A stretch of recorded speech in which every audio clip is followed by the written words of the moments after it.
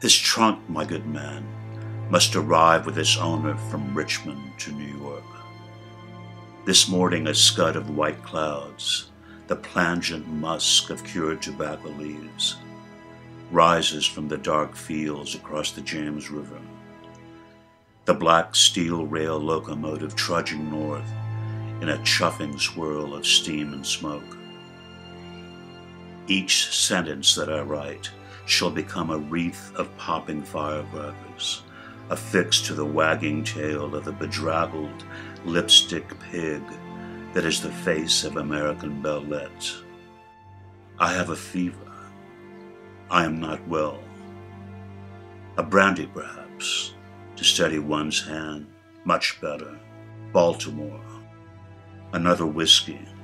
Black night falling, stars that give no light. There is rain. My coat is not with me. Pray, good sir, can you tell me this city?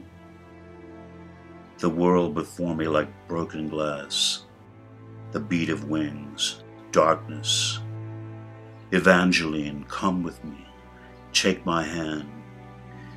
Tell me of the antediluvian world, the vanished ancient cities, of Babylon's hanging gardens, and the drowned kings of lost Atlantis.